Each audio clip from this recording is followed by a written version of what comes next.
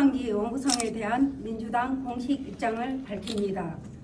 2022년 전반기 원구성 당시 민주당은 13석, 국민의힘당은 12석을 차지하여 전반기는 민주당이 3개의 상임위원장을, 국민의힘이 2개의 상임위원장을 맡았습니다.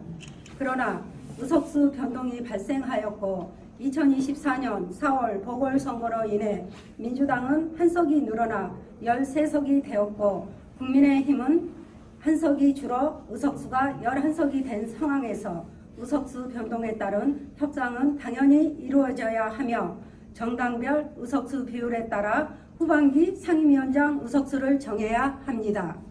민주당은 후반기 상임위원장을 13석의 의석수에 따라 정당하게 배분받고자 하는 것입니다.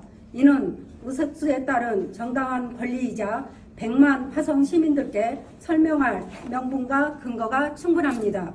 현재의 의석 비율은 민주당이 전체 의석의 52%중 23석 중 13석을 차지하고 있습니다. 따라서 민주당이 상임위원장 5석 중 3석을 차지하는 것이 마땅하고 합리적이라고 생각합니다. 정당한 의석수 배분을 요구하는 것은 민주당의 정당한 권리입니다. 지금은 민생을 살펴야 할 엄중한 시기입니다. 그러나 국민의힘당 의원들은 본회의에 참석하지 않는 등 의원으로서 본분의 역할을 다하지 않고 있습니다. 이에 민주당은 단호히 요구합니다. 국민의힘당 의원들은 즉시 본회의에 참석하여 책임있는 자세로 의정활동에 임해 주시기를 촉구합니다.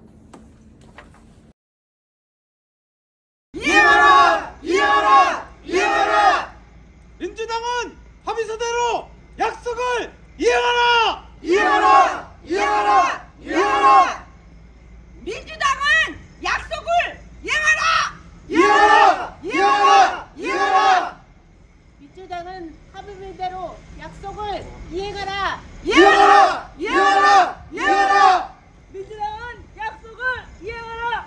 이해하라! 이해하라! 이해하라! 민주당은 약속을 이행하라! 이해하라! 이해하라! 이해하라! 민주당은 약속을 이행하라! 이행하라! 이행하라! 어떤 약속을 지키려는 건지요? 어, 전반기 때 합의서대로 우리한테 세석을 주기로 했는데 그 합의서대로 이행을 안 하고 있습니다. 그 한 석이 줄었다는 이유를 대고 있는데 그렇게 얘기하면 전성균 의원도 한 석이 줄은 거 아닙니까? 그러니까 합의서대로 이행을 해줬으면 좋겠습니다.